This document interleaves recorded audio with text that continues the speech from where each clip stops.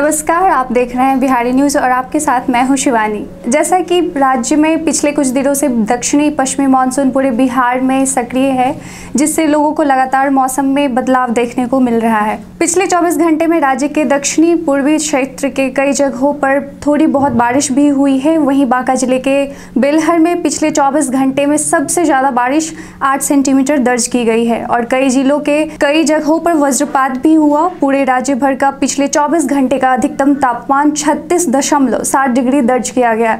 और आने वाले दो तीन दिनों में तापमान में मौसम विभाग द्वारा कोई भी बदलाव होने की संभावना नहीं जताई गई है। और आइए अब देखते हैं अगले तीन दिन सात, आठ और नौ जुलाई को कैसा रहेगा। राज्य भर में मौसम का हाल। बात करें उत्तर पश्चिमी बिहार के ज़िले पश्चिमी चंपारण, सिवान, सारण, पूर्वी चंपारण और गोपालगंज की तो सात और आठ जुलाई को इस चंपारण और वेस्ट चंपारण के लिए मौसम विज्ञान केंद्र ने ऑरेंज अलर्ट जारी किया है। यहाँ वज्रपात और गरज के साथ बिजली और तेज बारिश होने के आसार हैं।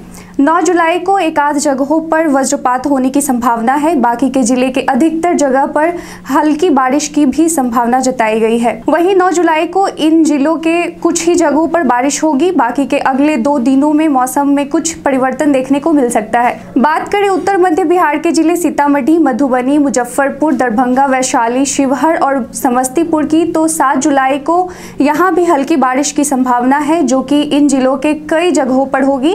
आठ और नौ जुलाई को इन जिलों के लगभग सभी जगहों पर तेज बारिश होने के आसार हैं, जिसके लिए मौसम विभाग ने येलो अलर्ट जारी किया है। वहीं अगले दो दिनों में मौसम में थोड़ा परिवर्तन देखने को मिल सकता है। उत्तर पूर्व बिहार के ज़िले सुपौल, अररिया, किशनगंज, मधेपुरा, सहरसा और पूर्णिया ज़िले के कुछ जगहों पर आने वाले तीन दिनों तक वज्रपात, गरज के साथ बिजली और तेज बारिश की संभावना है। यहाँ आपको खतरा देखने को मिल सकता है, जिसके लिए मौसम विज्ञान केंद्र पटना द्वारा ऑरेंज अलर्ट जारी किया गया है। बाकी के जगहों पर हल्की बारिश की संभावना है। दक्षिण पश्चिम बिहार के ज़िले बक्सर, भोजपुर, रोहतास, भभुआ, औरंगाबाद, जहानाबाद और अरवल के कुछ जगहों पर सात, आठ और नौ जुलाई को तेज बारिश होने की संभावना जताई गई है, जिसके लिए येलो अलर्ट जारी किया गया है।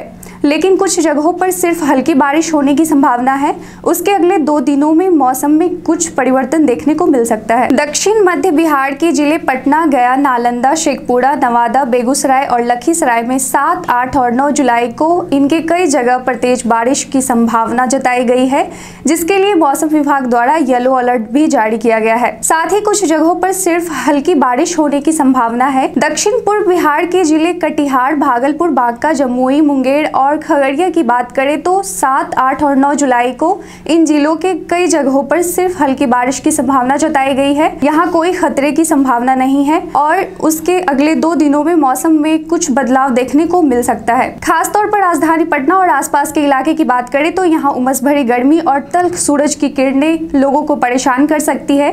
साथ ही कुछ जगहों पर हल्की बारिश की संभावना है। ये मौसम पूर्वानुमान पटना मौसम विज्ञान केंद्र द्वारा जारी किए गए हैं। आज के लिए बस इतना ही। मौसम की जानकारियों के साथ अपडेट रहने के लिए देखते रहे बिहारी न्यूज़। धन्यवाद।